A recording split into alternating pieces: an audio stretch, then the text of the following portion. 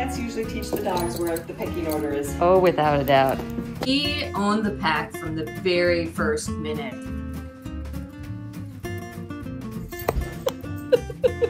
he wasn't at all shy about taking what he wanted.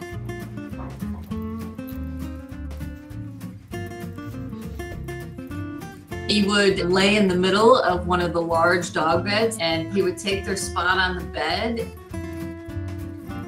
He would eat from their bowl.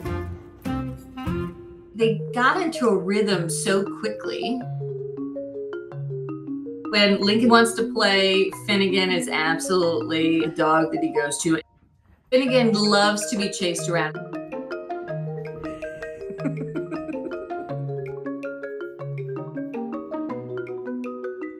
Finnegan, who's it? Who's it? Look. Who's it? If he starts to play with them, they won't be shy about playing back.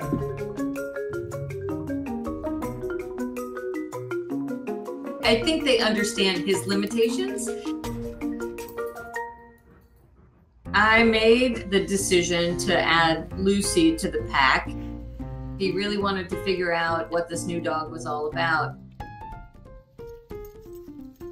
Lucy plays rough. She's a puppy. Lucy is also blind and deaf, and I think Lincoln uses that to his advantage.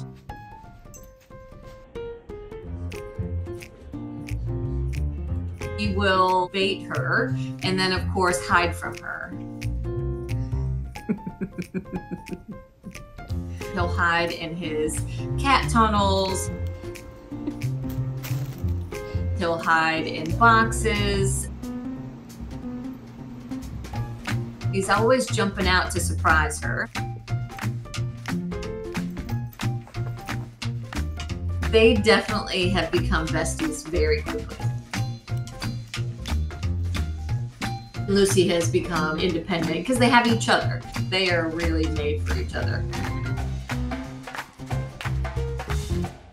They all love to be outside. They all love to go for walks. One of our favorite things to do as a full pack is to take a walk to our beach. Lincoln loves to explore the beach just like the dogs. They can really be themselves. Having them around and loving each other keeps my home on a really positive level. They make each other better.